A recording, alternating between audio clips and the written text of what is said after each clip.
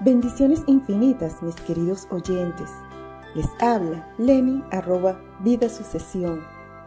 Para despedir el año he querido escribir un mensaje y a decir verdad me he quedado en silencio, pensando en todos los caminos que recorrí, no solo con mis letras, sino compartiendo la de escritores de distintos países en este, su programa, La Voz de Poeta.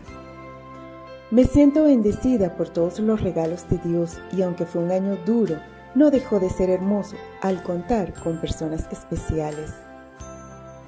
Y ahora culmina lleno de retos no esperados, de la esperanza de llenar nuevas hojas de este libro en que se ha convertido la vida.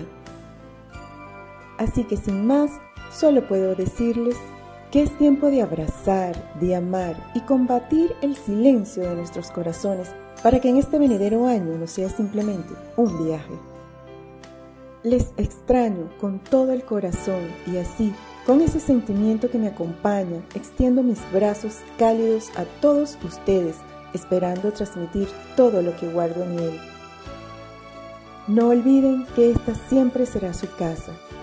Me despido de todos ustedes por este año y en nombre de Fernando Ismael Barrientos, desde los controles Argentina, que hace posible contar con este pequeño espacio.